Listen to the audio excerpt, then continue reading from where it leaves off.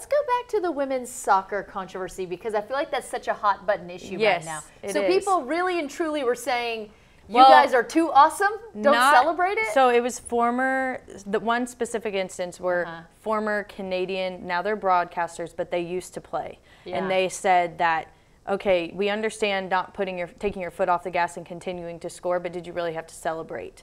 Um, and I mean, personally, that's hard. If these girls, like Alex Morgan said, this is what they've been dreaming of their entire Yeah. lives. Yeah. And so to finally get on that stage and then to be told, hey, don't celebrate, I'm not sure I could do that either. So that your star is shining so bright, make it shine just a little bit less. Yeah. I mean, and you mm-hmm. know what?